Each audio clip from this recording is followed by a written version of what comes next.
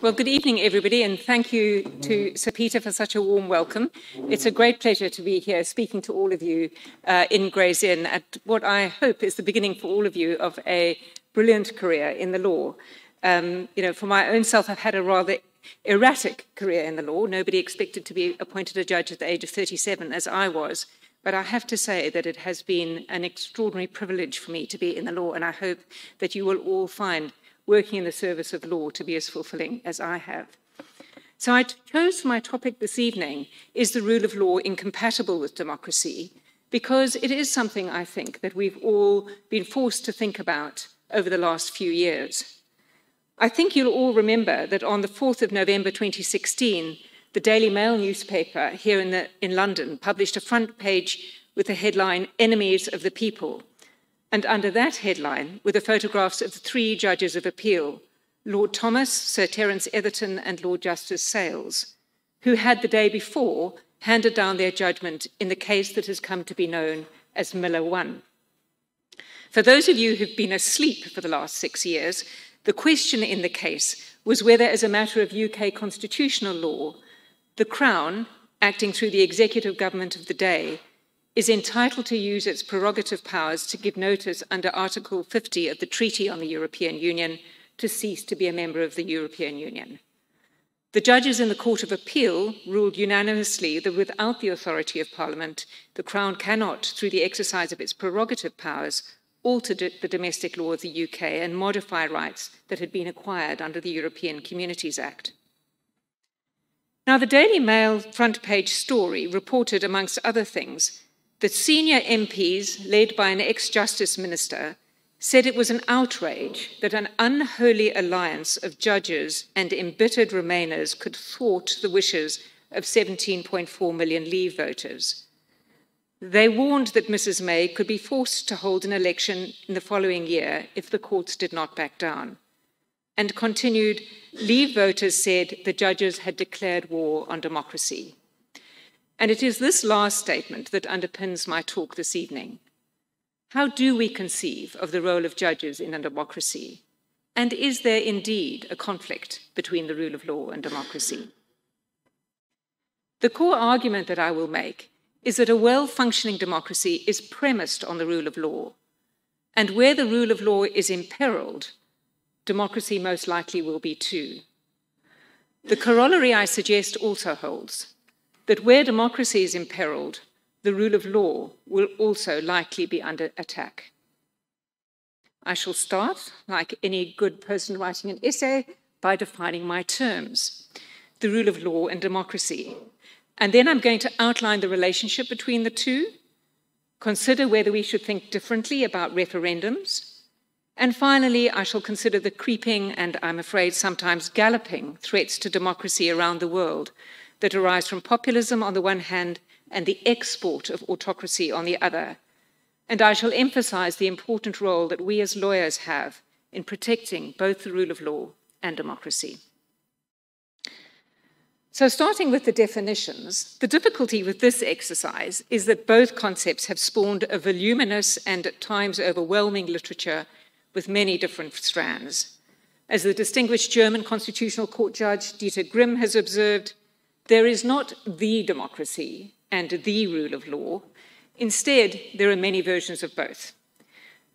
For the sake of brevity and clarity, I'm going to adopt one of each this evening, but I am going to say that it does, the answer to the question what the relationship between the two is does depend a bit on the definition that you give. So, for this evening, in my view, the rule of law is best understood as containing three elements. The first relates to the structure of laws, they must be clear, prospective, public, and apply to everyone.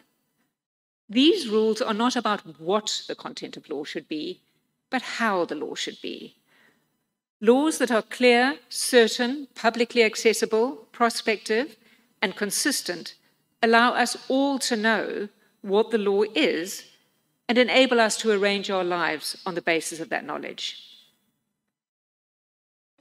The second element of the rule of law also relates to a how question. How should laws be applied?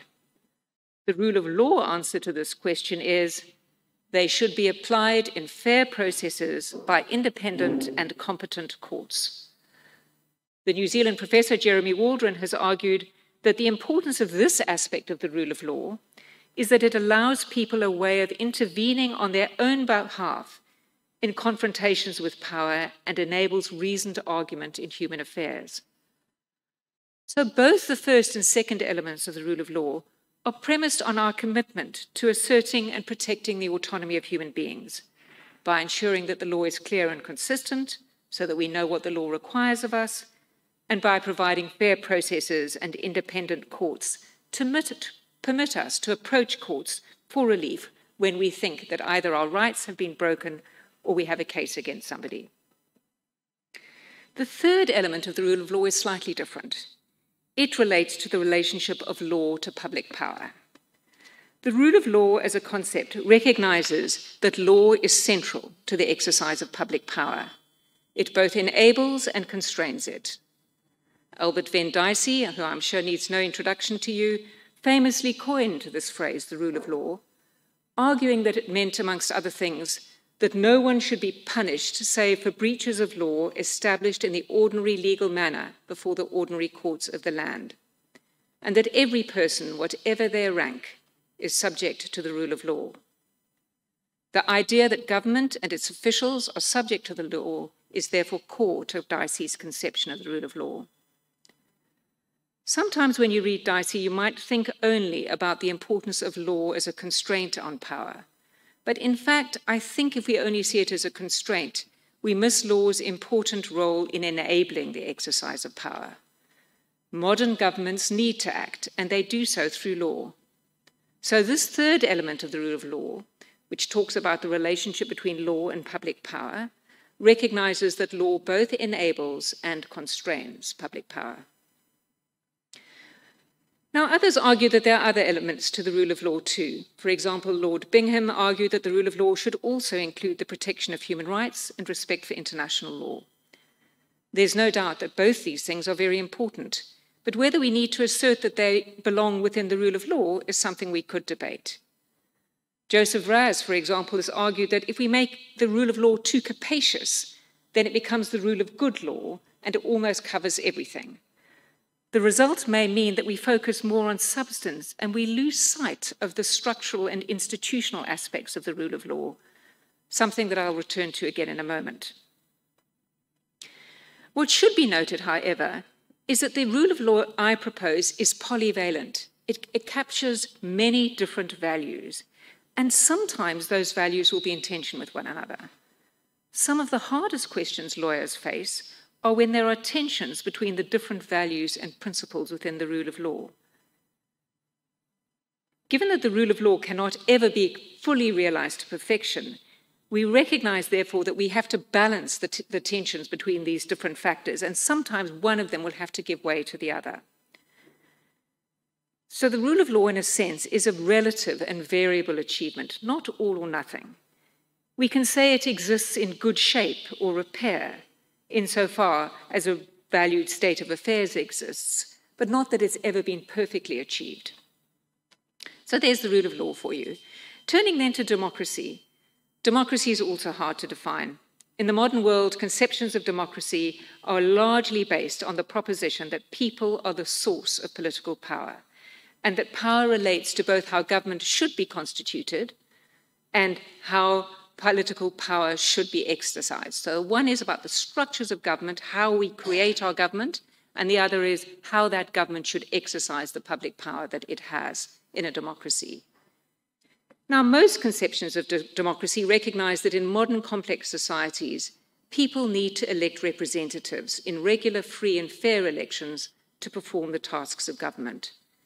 Modern conceptions of democracy are founded on the need for representation we cannot run a complex modern society where, if all of us participate equally, we need to appoint people to do it for us.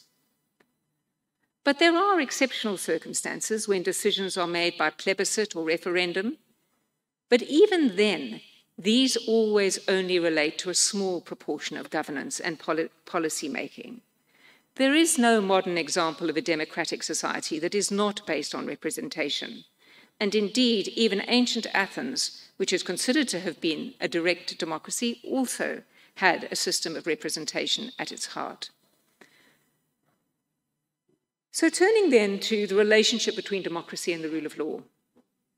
As I've said, a key process of modern representative democracies is the election, and elections need to be governed by law. When elections will be held, for what constituencies, who can vote, where they can vote, how voting districts are drawn, these are all questions that have to be determined by law and then applied consistently with the rule of law. Again, as Dieter Grimm has said, since there's no democracy without elections and no election without a binding set of rules, democracy depends, at least in this respect, on the rule of law.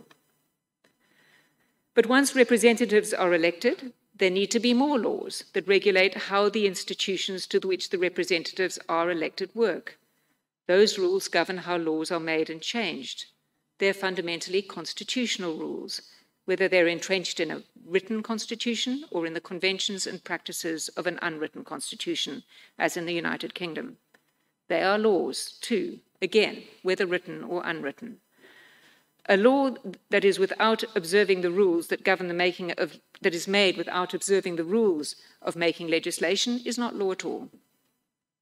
And once laws are made, they must be applied by government officials. And here again, the rule of law is necessary. Government officials must be bound by the laws that have been made by the people's representatives, and there needs to be independent institutions to ensure that the laws are followed. This is the foundation of judicial review. It is based on the principle that government, government officials must obey the, the law, a founding principle of the rule of law. So, representative democracies need the law and the rule of law to provide for free and fair elections, to regulate the making and amending of laws by the people's representatives, and to ensure that government officials apply the laws that have been made by the people's representatives. If the law fails at any of these elements, then the project of democracy is imperiled. If elections are not regulated by law in a free and fair manner, then those who are apparently elected may not, in fact, be representatives of the people. If the representatives, once elected, elected decide to make laws in a manner inconsistent with the rules, then that too will threaten the democratic project. And if government officials do not apply the law properly, then the, it is the law that the representatives of the people made is not being applied. Of course, it's not only the rule of law that constrains government and its officials to act lawfully. One of the major determinants whether government and its officials act lawfully is the dominant political culture in a society. Where the political culture reinforces the rule of law, then it is likely that democracy and the rule of law will thrive.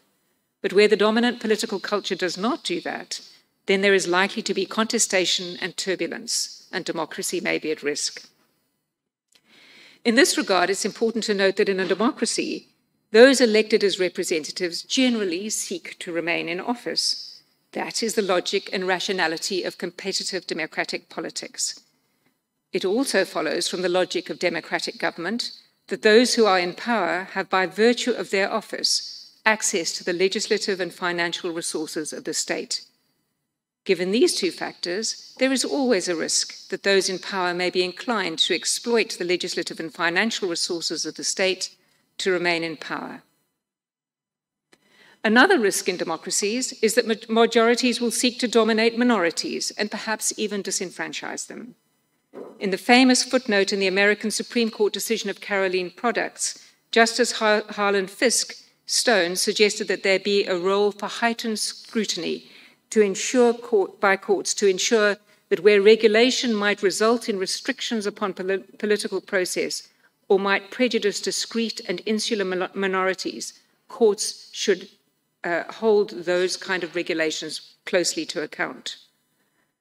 And we should not dismiss too easily the risk of legislation that will restrict the political process in favor of a ruling party or a dominant majority. Many democracies face the challenge of ensuring that free and fair elections continue to be held. One of the patterns of the last few decades across the world is the increasing prevalence of elections that, for one reason or another, are not perceived to be free and fair. In some cases, political parties or individual politicians are prohibited from participating.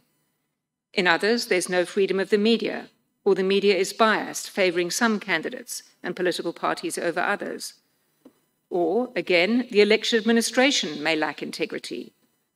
All these phenomena that are occurring, unfortunately, with increasing regu regularity, threaten democracy. And they can be protected to some extent, or protected against to some extent, by fundamental rights, particularly freedom of speech in the media, freedom of association, and the principle of non discrimination. Thus, whether we opt for a thin conception of the rule of law, but recognize that it needs to be accompanied by a commitment to fundamental rights, or a thicker conception, like Lord Bingham's, that incorporates fundamental rights, it is clear that protecting democracy needs a commitment both to the rule of law and to the fundamental rights that ensure free and fair elections.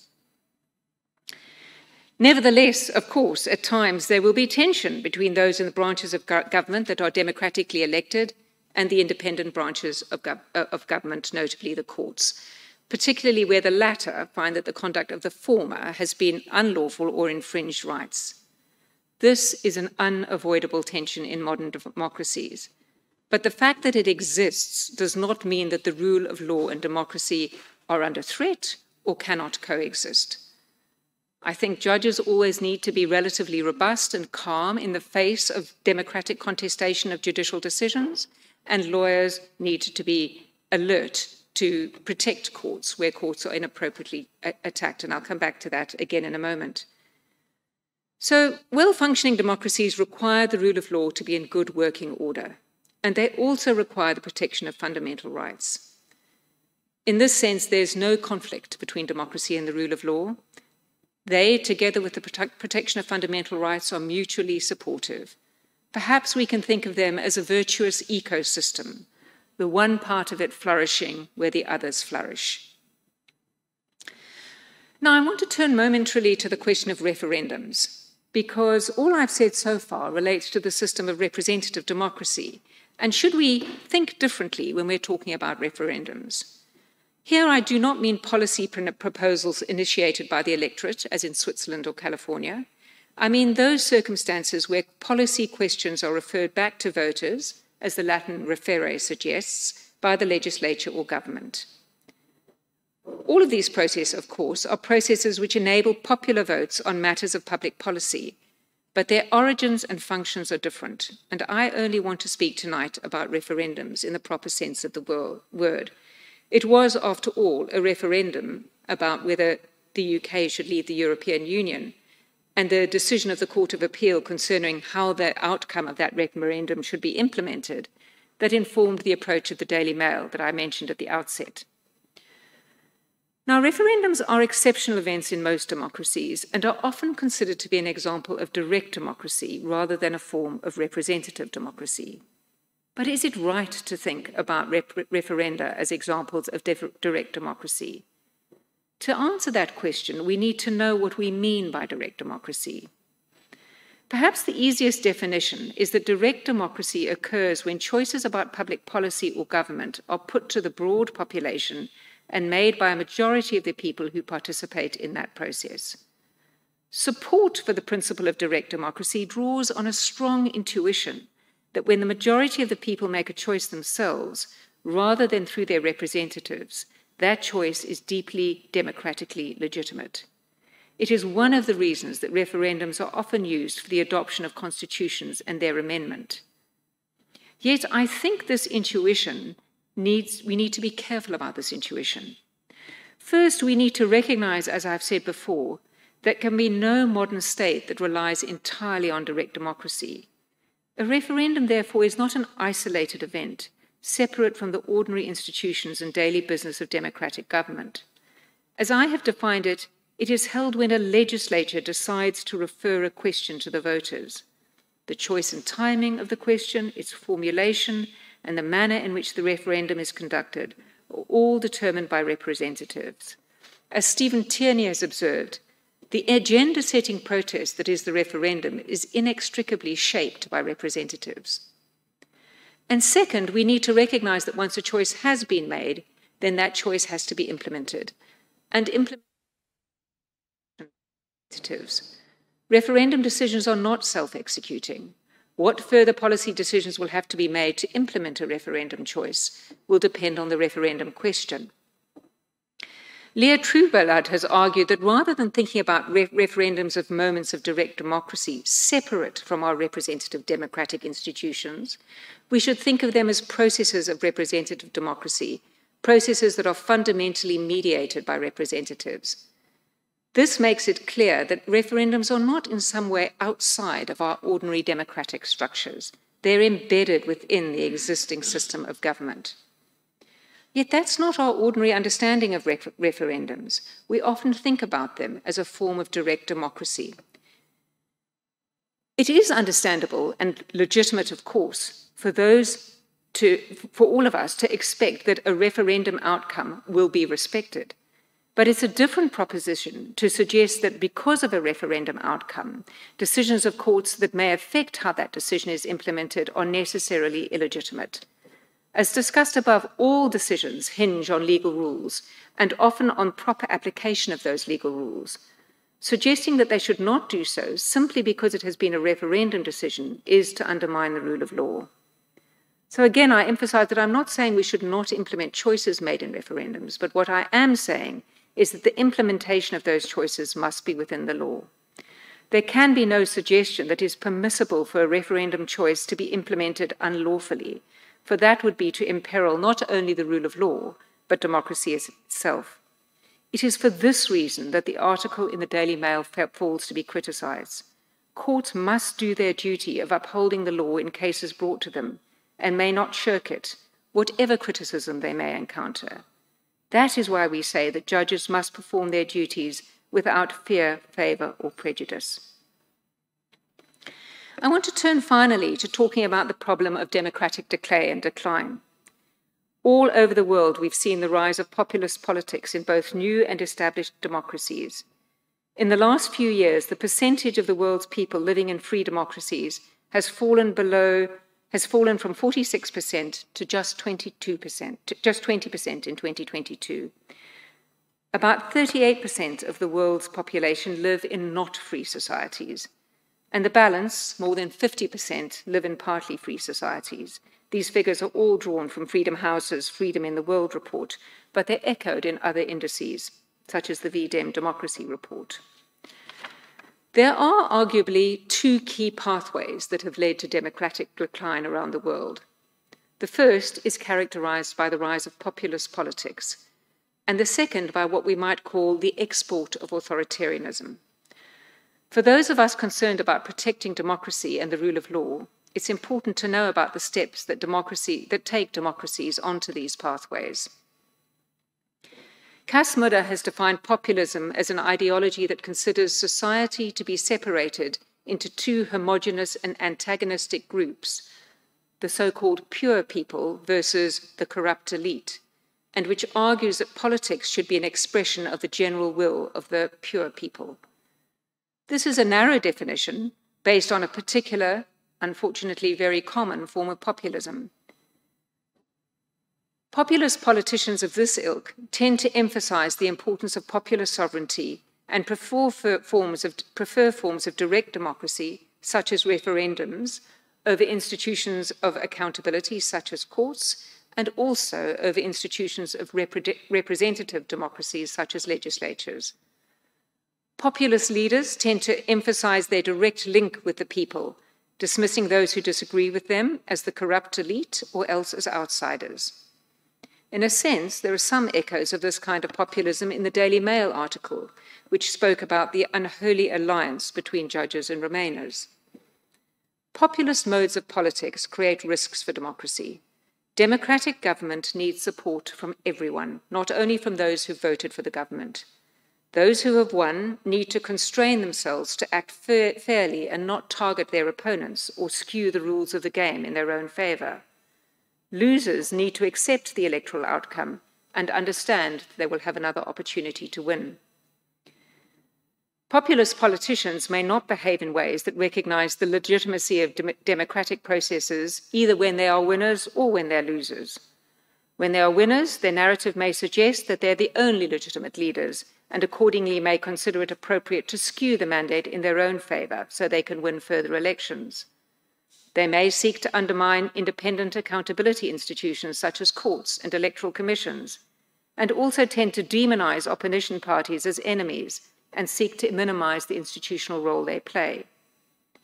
When populist leaders lose, they dispute electoral outcomes quite often, which go against them, arguing perhaps that a corrupt elite has cheated. Both these forms of populist behavior threaten the democratic framework itself, and we need to be on our guard against them. The second pathway to democratic decline, the exporting autocracy model, sometimes overlaps with the populist model, but not always. It arises when external pressures are imposed upon a democracy to become more authoritarian. These pressures are often brought to bear by large autocratic states. And perhaps this pathway has been most sadly and best characterized over the last few years by events in Hong Kong. In speaking of Hong Kong, of course, I'm also thinking of the anniversary of Tiananmen Square, which we recognized on the 4th of June. Hong Kong, of course, has a very special constitutional arrangement arising from its history as a colony of Britain and its geography as part of China. The handover agreement between Britain and China in relation to Hong Kong sought to establish a constitutional model of one country, two systems, in which it was expected that the rule of law, in good health in Hong Kong at the time of the handover in 1997, would continue to flourish. The basic law of Hong Kong was built upon the principles in the handover agreement and established Hong Kong as a special administrative region of China. The basic law promises the protection of fundamental rights, the independence of the judiciary, and a gradual path to democracy in a manner starkly different to the constitutional arrangements in mainland China. A key provision of the Basic Law confers the power of final interpretation of the Basic Law on the Standing Committee of the National People's Congress of China, which is not a judicial body but a political one. The Hong Kong Court of Final Appeal also has jurisdiction to interpret the Basic Law, but is under an obligation to refer a question of interpretation to the Standing Committee if it concerns foreign affairs, defence, or other matters outside of the jurisdiction of Hong Kong and is necessary for deciding the case before the Court of Final Appeal. Now, the Standing Committee has only exercised its powers on a few occasions, but those occasions have increasingly constituted a fundamental threat to the rule of law and the possibility of democracy in Hong Kong. Arguably, the current steep de decline began in 2014 when the Standing Committee announced that it would control the process of nomination of candidates for the election of Chief Executive of Hong Kong this announcement sparked a two month protest known as Occupy Central or the Umbrella Movement, which sought unsuccessfully to have the decision reversed. Since then, the powers of the Standing Committee under the Basic Law have been invoked on several occasions. Perhaps most notably in November 2016, when the Standing Committee unilaterally interpreted Article 104 of the Basic Law, regulating the oaths must be taken by members of the Legislative Council with the consequence that two leading pro democracy populists who had been elected legislators were excluded from the council. Following further protests in 2019, the Standing Committee unilaterally enacted the National Security Law for, for Hong Kong Special Administrative Re Region, bypassing the legislation processes and extending the jurisdiction of the mainland government to Hong Kong, including setting up the Office for the Safeguarding National Security and importing offences such as secession, subversion, terrorism, and collusion with foreign forces from the mainland, as well as providing for extradition of suspects to mainland courts for trial. The consequences of these events for the rule of law and democracy in Hong Kong are deeply worrying. It seems likely that the two systems, one country model of the handover agreement and the original basic law has been fundamentally damaged and may not survive. And I tell that story to remind us that the rule of law is never certainly entrenched. It is always possibly at risk. Lawyers need to understand what these pathways to the decline of democracy and the rule of law look like. For the legal profession has a particular responsibility in preventing decline in the rule of law. When the rule of law is under threat, it is very hard for judges to speak out to protect it. Judges need to remain outside the daily turbulence of politics. Their judgments need to speak for themselves. It is for this reason that the legal profession, and I would add the legal academy, academic lawyers, have a professional duty to act to protect the rule of law. Of course, this does not mean that judgments may not be criticized by practitioners or scholars, but they should be criticized on their merits after reading the judgment, not just on their outcome. There is an understandable tendency for people to judge judgments on outcome alone. Lawyers need to remember, however, that doing so is to discount the reasons that judges give for their decisions. As practicing lawyers, it will be your job to seek to persuade judges of your arguments.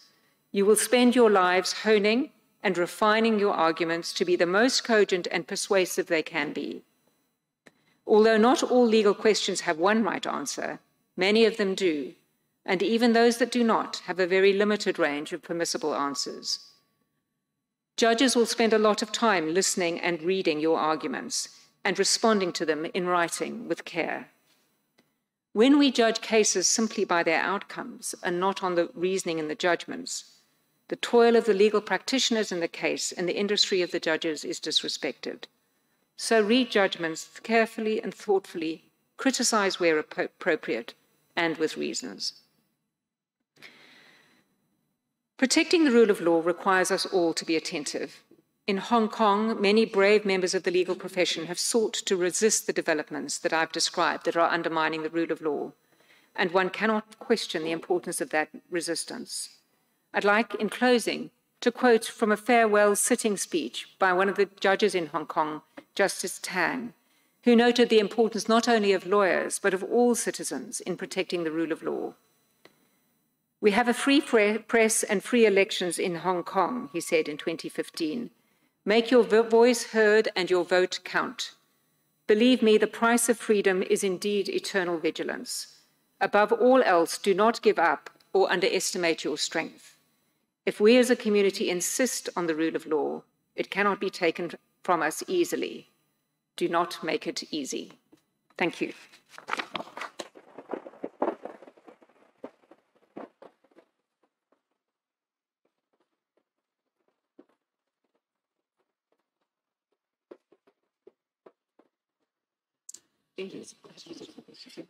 Wasn't that wonderful? Judge O'Regan has very kindly agreed to take questions for a few minutes. There are mobile microphones for those who aren't near them, each side of the hall. Uh, so fire away. We have a few minutes for this if there are questions. Please.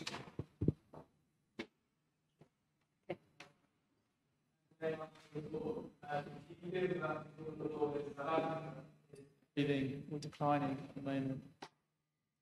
No, I don't. I think that the, everywhere the rule of law is, has always got challenges. But I think one of the things that we have seen in South Africa, and happy to spend a bit of time on this if people be interested, uh, has been the important role that the courts have played through the process of what has loosely in South Africa come to be referred to as state capture, um, which is the project of um, substantial patterns of corruption uh, within government. Um, the, the, the courts have, you know, across the legal system, and I think some of the other independent arms of government, such as the public protector, played a very strong role, uh, public protector until 2018, played a very strong role in seeking to protect the rule of law. And I, I, think that's a, you know, it's, it's, it's been an extremely challenging environment in which to do that.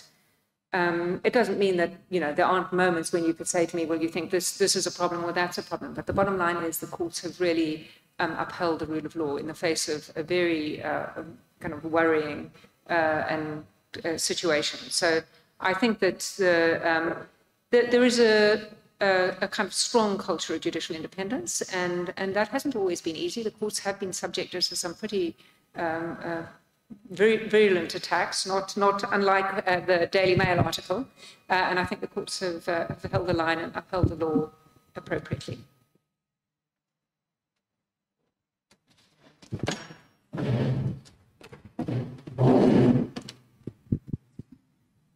Thank you.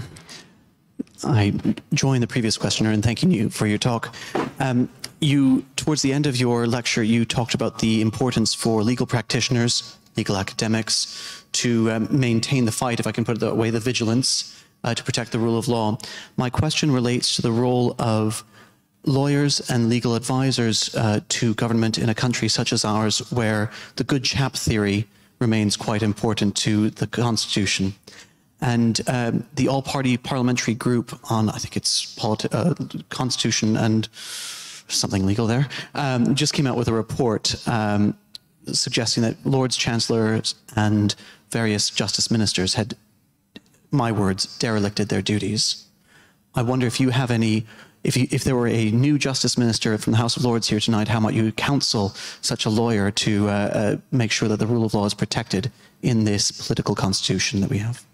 Well, I haven't read the report you're referring to, but just as a general principle, lawyers always owe their first duty to, to the law, to the courts, to uphold uh, the legal system.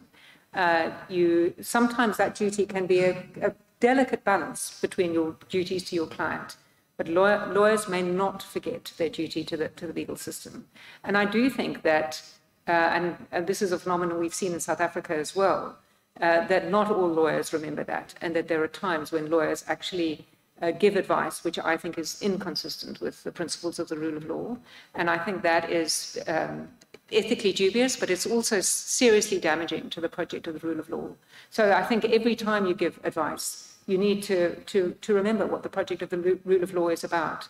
And that does not, uh, you know, that at times involves working very carefully and thinking about what the relationship to your client's interests are, but your priority is to uphold the rule of law.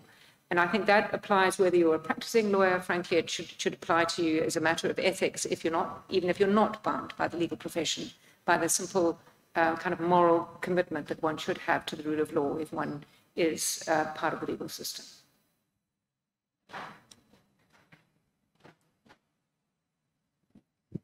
Um, thank you for your talk. It was really, really good. Um, I was just going to ask about there's a railway station in Hong Kong, which, if you go inside it, it's under Chinese law. Um, and it means that people could potentially be sent to China. And there's examples of publishers who were just sent to China and then they're tried, if we can call it that, under Chinese law. Um, what could the court in Hong Kong do to counteract this? Because I'm unaware of what they can do. I, I, think it, I mean, I just don't want to answer that question. I'm not enough of an expert on Hong Kong law. It, obviously, the, the court faces uh, a significant challenge in circumstances where the Standing Committee has interpreted a provision of the basic law in a manner in which potentially the Court of Final Appeal does not think is appropriate because it is clear in the basic law that the interpretation adopted by the Standing Committee takes precedence. And so it, it, it is, it, it's a challenge. And what the court has done in, one of its judgments, which I think is very interesting, is taken the view that when the standing committee hands down an interpretation, that's a, in a legislative mode. It's not an adjudicative mode. So it's not to be dealt with, as it were, as part of the law, as part of a precedent binding upon it, but to be treated in a kind of a way as a legislative uh, a refinement of the basic law. Um, but it still leaves it still leaves the court, I think, um, with with you know difficult adjudication questions, which um, I, I, really wouldn't want to hazard a guess as to how they would deal with. But but clearly, following what happens in the Court of Appeal uh, over the next few years is going to be important, particularly given the uh, enactment of the security legislation, which um, you know which is a cause for grave concern.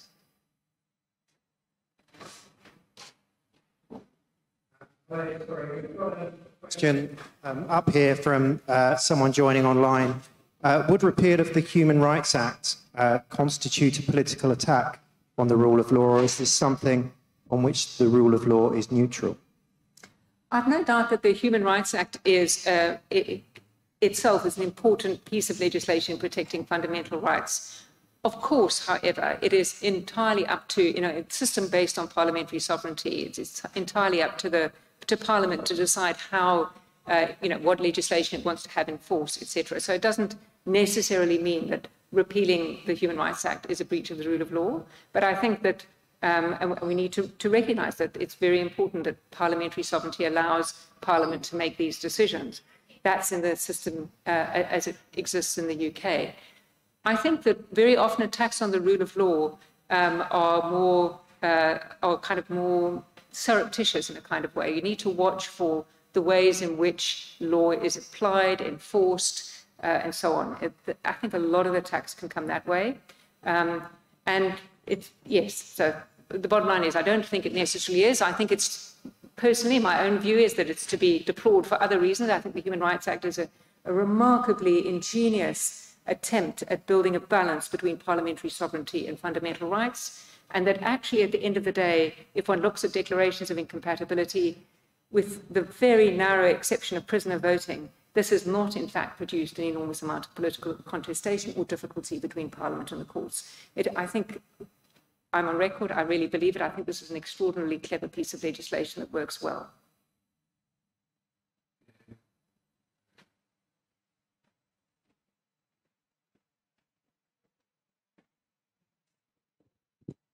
Thank you for your talk. It was really interesting. Um, I just have a question whether within civil law jurisdictions of a codified constitution, do you think that decline in democracy is more obvious, to say the least, within codified constitutions, or do you think within uncodified and codified they're both equally as visible of in, in a civil law jurisdiction, are, I'm just repeating it, so I'm sure I've got your question. In a civil law jurisdiction, are threats to democracy more obvious? Yeah, under like under areas which have codified constitutions. Than under an unwritten constitution. Well, I think that I think it may look like that. Um, I, I, think it's probably less to do with civil law than written and unwritten constitutions. There's no doubt that one of the advantages of written constitutions is we all know what the Constitution is. We can all get out our little copy of the Constitution and we can say, here it says this. Now, we might have a debate about what the meaning of the particular provision is, but it's there and it's clear. I think in a constitution which is effectively a, the amalgam of many centuries of conventions which are not written down in that clear way, we can have a, it's, it's, it's less clear what's going on. So I think, I definitely think that is one of the advantages of written constitutions. On the other hand, I am also sure that one of the most important things that pr- protects a constitution, whether written or unwritten, is political culture. And that political culture is obvious whether you're in the space of a written or an unwritten constitution. You can see whether there is respect for the project of the respect for the constitution, its conventions, and the rule of law uh, from people in, in authority or not, wherever you are. And those are often the greater threats um, than our debates about whether, in fact, technically we think this was a convention. Is the Sewel Convention still a convention because it hasn't been, you know, followed very often in the last while? That's a debate. You wouldn't have that debate in a written constitution. But threats to the rule of law, I think, come very much from political culture. And I think that's quite obvious to us, particularly those of us who are fortunate enough to live in places with freedom of speech and freedom of the media. I think this becomes much more difficult where you live in a society where the media makes it much less not possible to really understand what people in power are doing on a daily basis. To check the last. It's been a wonderful exchange. Going to two more. I think I see two hands over there. Yeah, um,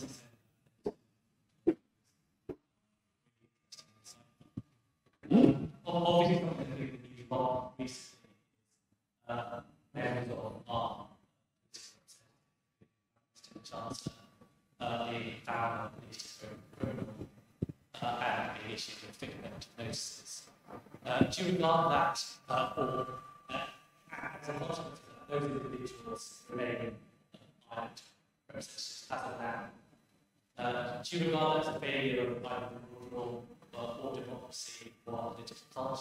Is a um, not? Well, there's no doubt that it's very important that when people break the law that they're held to account. And that's one of the things that doesn't happen in places with the rule of law. So I think that one should take comfort in the fact that that, that is not what's happening here. People are being held to account for it. I think the next question is the question of political culture. Do we want to have a political culture in which we say that um, that breaking the law is something that should result in removal from office. I will say that in South Africa, we do not have that as a strong political culture. And I do think that in the South African circumstance, that is one of the most worrying aspects. To go back to the very first question, I think it is a good sign when um, people in leadership believe that behaving, that obeying the law and looking like they've obeyed the law is, um, is something that matters uh, in political representatives. So that's a slightly reverse way of putting it. Judicially cautious.